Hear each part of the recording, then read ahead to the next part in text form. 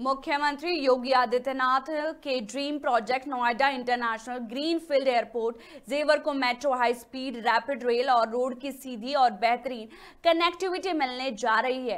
राष्ट्रीय राजधानी क्षेत्र परिवहन निगम, उत्तर रेलवे, उत्तर मध्य रेलवे, एनएचएआई और प्रदेश सरकार के अधिकारियों के साथ एयरपोर्ट की बेहतर कनेक्टिविटी पर चर्चा की। उन्होंने कहा कि जेवर का पूरा क्षेत्र कुछ वर्षों पहले तक अपराध की जद में था। दिन दहाड़े छिनौती लूट की घटनाएँ होती थी, लेकिन आज इसकी पहचान अंतर्राष्ट्रीय एयरपोर्ट से हो रही है।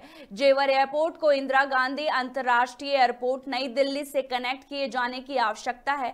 इसके लिए रैपिड रेल और मेट्रो एक बेहतर विकल्प हो सकता है। भारत सरकार एनसीआरटीसी से संबंध में आवश्यक सहयोग, परामर्श प्राप्त करते हुए प्रस्ताव तैयार किए जाए।